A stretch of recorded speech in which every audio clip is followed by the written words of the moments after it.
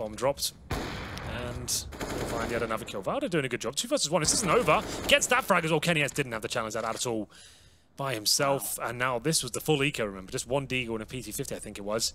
We'll have a look. It's bodyy watching the main entrance. I'm not sure if he can see the bomb. I'm not actually aware of as to where it is because you lose the minimap here. But bodyy is in the perfect spot right now. All the things work out for him. Apparently not. Valde with a lovely shot there. Well played. As an ace. You got the ace in that round, and three of them.